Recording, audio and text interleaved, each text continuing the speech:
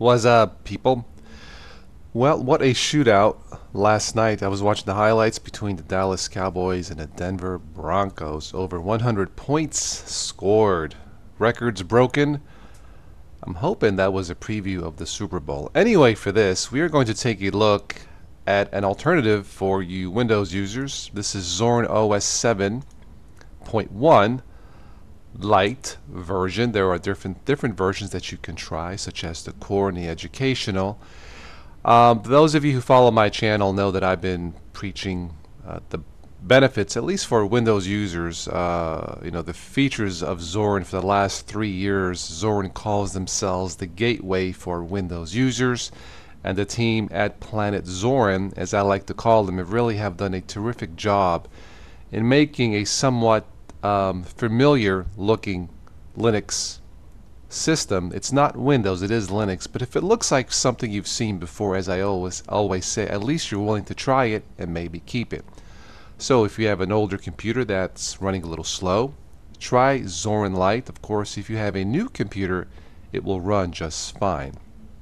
Now I am running this inside a virtual machine. I was I was trying to get this to go full screen, couldn't do it it may be the guest additions or something like that. Anyway, let's take a look at the default desktop and see if you, being a Windows user, might be able to figure this out. So let's try right clicking, desktop preferences, wallpaper. This I believe has only one wallpaper. Now keep in mind this is a very light distribution. It's meant to go fast and it does go fast.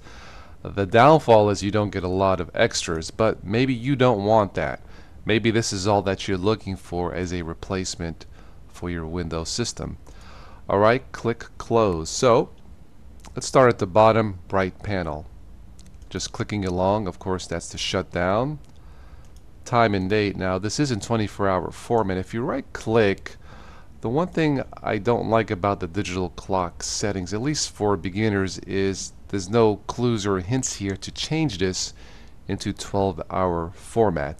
Other than that, it's perfectly fine. Again, if you don't care about that, then that's even better.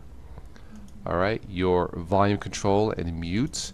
If you right click on a panel, you can go to panel settings and you can change the size and the orientation of where you want this panel to be, such as bottom, top, left, right. Again, self-explanatory, the appearance, you can add panel applets, applications, little shortcuts to the panel bar. Alright, moving along, you have a choice of two desktop workspaces. The default media player is Audacious. Music player, I don't think it does video. File manager.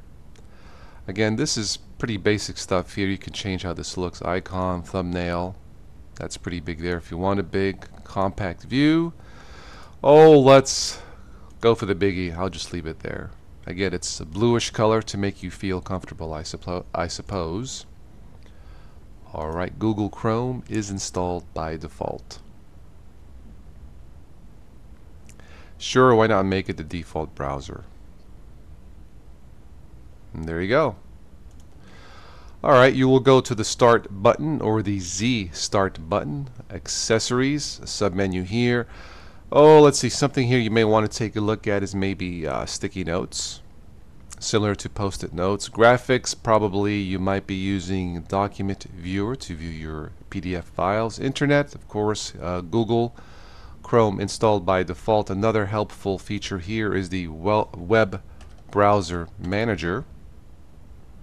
If you don't care for Chrome, you can install Firefox, Opera, or Midori, a nice user-friendly shortcut.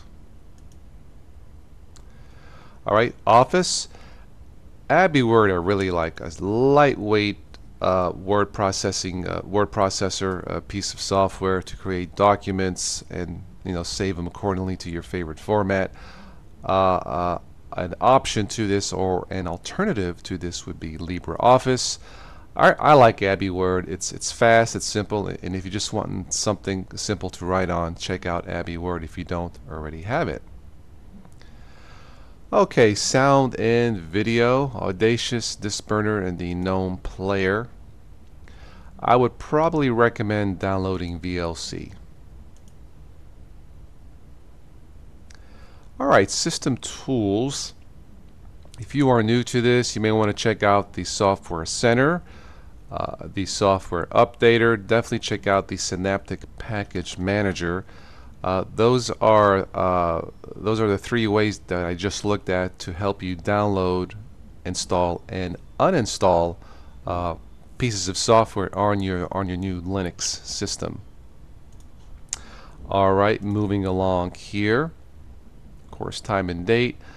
Let's take a look at the um, take a look at the Zorin look changer. You can change this between the Windows 2000 look and the Mac OS. I'll just leave it at default, which is Windows 2000. If you go to the Zorin OS Lite Extra software, again type in your password, and you can install install extra uh, software, and there you go. I mentioned VLC. This is a shortcut to install VLC. Preferences some choices here. For here, I would probably take a look at the customized look and feel. I changed the color to um, Crux. The default is Lubuntu default, which is the blue. I like the purplish, so I just leave it there and click apply. Well, guys, what do you think? All you Windows users out there, what do you think? This is looking pretty simple, isn't it? At least I think so. Run, and of course, log out. This is a terrific lightweight alternative if you want something fast and simple to run and you don't need a full featured operating system. Now what I mean full featured, if you are looking to run a full multimedia suite, then this is not it. You can install applications accordingly, but but if you do not need all that fancy stuff, you definitely want to take a look at Zorin 7.1 Lite. I think it's terrific, uh, as all the Zorin releases are. So what do you think? This is Zorin. And of course, I'm running Windows 7. You've seen this before. What do you think? You think you might be able to figure out Zorin if you are running Windows 7? Yeah, I think so. So take a look at Zorin OS 7 Lite. Let me know what you guys think. Thank you for watching and, and listening. And as always, I will catch all of you sometime in the future.